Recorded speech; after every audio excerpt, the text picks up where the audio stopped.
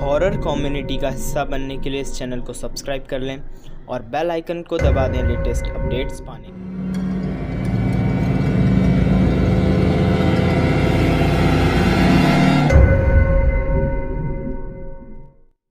तो हेलो दोस्तों, आज मैं आपके लिए सौ मूवी का हिंदी एक्सप्लेनेशन वीडियो लेके आया हूँ। वीडियो शुरू करने से पहले एक इंपॉर्टेंट अनाउंसमेंट की जिन्होंने भी इस चैनल को सब्सक्राइब नहीं किया, वो इस चैनल को सब्सक्राइब कर लें क्योंकि सौ मूवी के सीरीज़ में टोटल आठ फ़िल्में हैं और एक शॉर्ट फ़िल्म है और मैं उन सभी फ़िल्मों का हिंदी एक्सप्लेनेशन इस चैनल पे आने वाला हूँ। इसीलिए इस चैनल को सब्सक्राइब करके आप लोग इस चैनल से जुड़े रहें ताकि आप एक भी एक्सप्लेनेशन वीडियो ना मिस करें। साथ ही साथ, अगर आपको किसी और मूवी का हिंदी एक्सप्लेनेशन वीडियो चाहिए तो आप मुझे कमेंट में बता सकते हैं। मैं पूरी कोशिश करूँगा कि आपकी बताई मूवीज़ पे एक्सप्लेनेशन वीडियो बना सकूँ।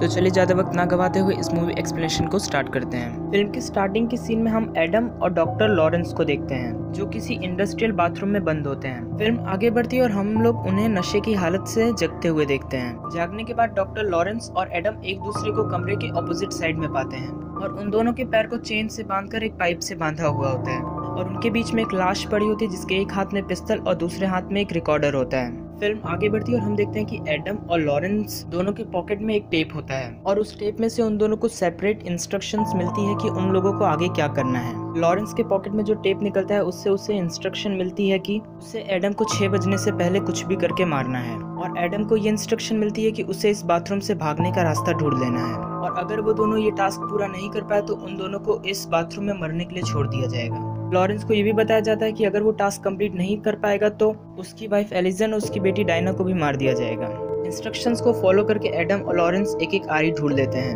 उन्हें लगता है कि वो इस आरी की मदद से अपनी चेन काट कर यहाँ से आज़ाद हो जाएँगे। लेकिन जब एडम उन आरियों का यूज़ करके अपनी चेन काटने लगता है, तभी वो आरी टूट जाती है। ये देखकर लॉरेंस एडम को बताता है कि ये आरी है हमारी चेन काटने के लिए नहीं है, बल्कि हमारे पैर काटने के लिए है। और अगर उन्हें वहाँ से आज़ाद होना है तो उन्हें अपना पैर काट कर वहाँ से आज़ाद होना पड़ेगा। उसी समय लॉरेंस एडम को ये बताता है कि मुझे लगता है हमें जिक्सॉ पकड़ कर लाया हमें यहाँ पर मारने के लिए। जो एक सीरियल किलर है अपने ट्रैप्स में फंसा कर लोगों को मारने के लिए काफ़ी बदनाम भी है। तभी सीन चेंज होता है और हम देखते हैं लॉरेंस की पत्नी एलिसन और उसकी बेटी डायना को, जिन्हें किसी ने अपने ही अपार्टमेंट में बंदी बना कर रखा है। लॉरेंस की पत्नी और बेटी को भी उसी आदमी ने बंदी बनाया होता है जो उन्हें कैमरे की मदद से इंडस्ट्रियल बाथरूम में देख रहा होता है। वो कैमरा एक शीशे के पीछे छुपा होता है। इसके बाद लॉरेंस अपना वॉलेट देता है एडम को अपनी फैमिली की फ़ोटो देखने के लिए। एडम लॉरेंस की दी हुई फ़ोटोज़ को देख रहा होता है, पर उसे अंदर एक और फ़ोटो मिलती है, जिसके अंदर वो लॉरेंस की बेटी और पत्नी को बंदी बने हुए देखता है। जब एडम उस फ़ोटो को पलट कर देखता है तो उसे उस फ़ोटो के पीछे एक मैसेज लिखा मिलता है। मैसेज में लिखा होता है कि, इस कमरे में एक्स मार्क के साइन को ढूंढो और कभी कभी तुम आँखों को बंद करके चीज़ों को ज़्यादा अच्छे से देख सकते हो। एडम हिंट्स को फॉलो करता है और लॉरेंस से कहता है कि वो इस कमरे की लाइट बंद कर दे। ऐसे ही लॉरेंस इस कमरे की लाइट बंद करता है, उसे दीवार पे एक एक्स मार्क का साइन दिखता है। लॉरेंस उस एक्स मार्क के साइन वाली दीवार को तोड़ देता है। दीवार को तोड़ने पर उसे एक छोटा डब्बा मिलता है। डब्बे को खोलने पर उसे अंदर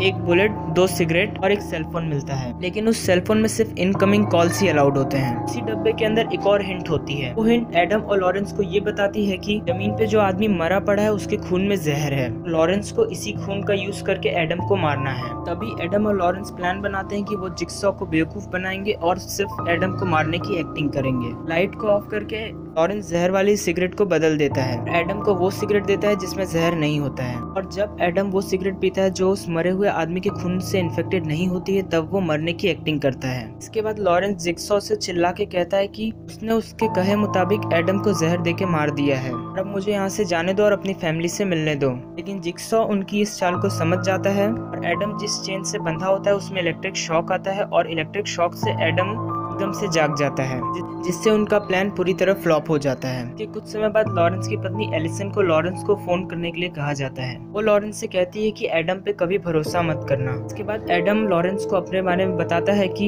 एडम एक फोटोग्राफर है और उससे लॉरेंस की फ़ोटो खींचने के रुपए मिलते हैं। इसके बाद एडम लॉरेंस को कुछ फ़ोटोज़ दिखाता है। इसके अंदर लॉरेंस एक लेडी से मिलने जाता है, जिसके साथ उसका अफेयर होता है। तभी एडम लॉरेंस से कहता है कि इसमें एक फ़ोटो ऐसी भी है जो उसने नहीं खींची है। और वो फ़ोटो एडम लॉरेंस को दिखाता है। लॉरेंस तुरंत उस आदमी को पहचान जाता है और एडम को बताता है कि ये जेफ है जो उसके हॉस्पिटल में सामान ले जाने का काम करता है। जैसे ही लॉरेंस उस आदमी को पहचानता है अभी छह बज जाता है और लॉरेंस अपने काम में फेल हो जाता है। तो था कि एडम को छह बजे से पहले मारने का, जिसके बाद जेफ लॉरेंस की बेटी और पत्नी को मारने के लिए तैयारी करता है।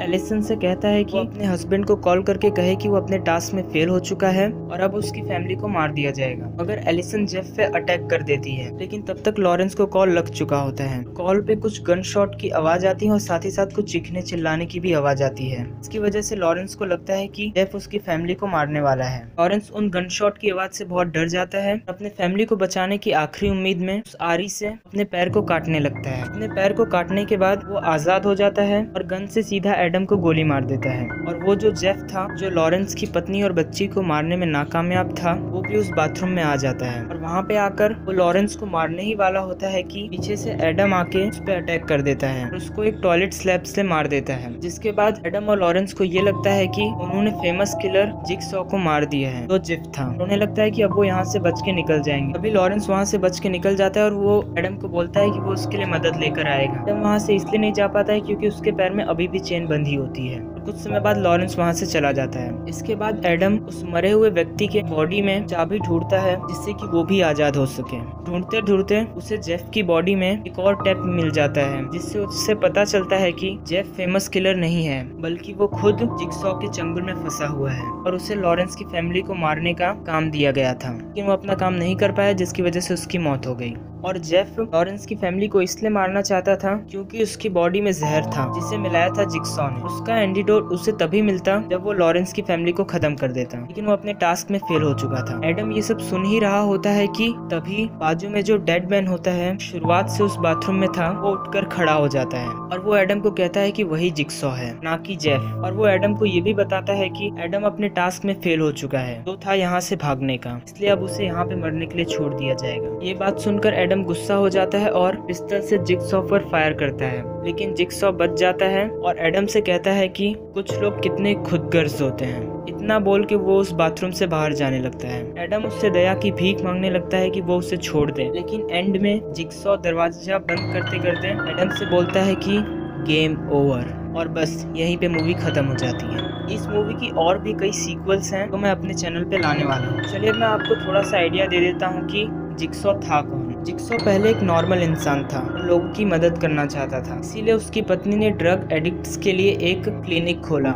लेकिन एक ड्रग एडिक्ट ने उसकी फैमिली पे अटैक कर दिया, जिसकी वजह से उसके बच्चे की डेथ हो गई। कुछ समय बाद उसकी पत्नी की भी। और जब वो इलाज करवाने के लिए डॉक्टर लॉरेंस के पास गया, उसे पता चला कि उसे कैंसर है। वो अपनी लाइफ से पूरी तरह हार चुका था। उसने डिसाइड किया कि वो सुसाइड करेगा। लेकिन कार में सुसाइड करने के बाद भी वो बच जाता है। उसके बाद से वो अपनी लाइफ को अप्रिशिएट करने लगता है और चाहता है कि बाकी लोग भी अपनी लाइफ को अप्रिशिएट करें। इसीलिए वो इस टाइप के गेम बनाता है। उन्हीं लोगों को सेलेक्ट करता है जो अपने लाइफ को अप्रिशिएट नहीं करते हैं और उन्हें एक बार बचने का चांस भी देता है। चलिए वीडियो को यहीं पे एंड करते हैं। अगर आप चाहते हैं कि मैं जिक्सॉ पे एक अलग से एक्सप्लेनेशन वीडियो बनाऊँ तो आप मुझे कमेंट में बता सकते हैं। और जाते जाते मैं बस यही कहना चाहूँगा कि चैनल को सब्सक्राइब कर लें ताकि आप इस सीरीज़ का एक भी वीडियो ना मिस करें। तो चलिए मैं निकलता हूँ।